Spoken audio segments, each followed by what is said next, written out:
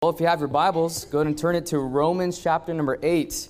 Romans chapter number 8. And that song, actually, they just sang, actually deals a little bit with what I'm going to be talking about here tonight. But uh, this doesn't get any easier doing this. Um, I'm, I'm thankful to God for the many opportunities that I've had to preach. And you would think that I, I would like to say I've preached several times now, a lot, not just here, but uh, kind of in, in, college too, and the different churches I've interned at, and it never gets easier. but God always gives the strength just to uh, get you through it. And so I just always encourage people to follow God's will for your life. If He can use someone like me uh, to do public speaking, whatever you want to call this, the foolishness of preaching, then definitely He can use you. So uh, just follow God's will, and you'll have absolutely no regrets in your life, and it'll lead to nothing but joy. Well, Romans chapter number 8 is where we're going to be. Uh, and what a wonderful message that was this morning from Pastor, wasn't it?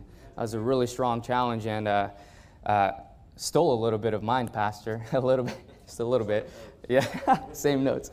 Our wives wrote us the same message, apparently. uh, but we're kind of dealing with the same thing along the same lines. You might hear me bring up a little bit what he talked about this morning, but uh, I don't think that's coincidence. I think God has a purpose in what he's trying to say and He always does. And so I'm thankful for the opportunity just to be used of God here at this time. So let's go and read Romans chapter number 8. If you have your Bibles there, say amen. amen. All right. If you're awake, say amen. amen. All right.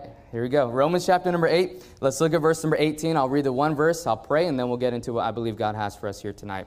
Romans chapter number 8, verse 18, and it says this For I reckon that the sufferings of this present time are not worthy to be compared with the glory which shall be revealed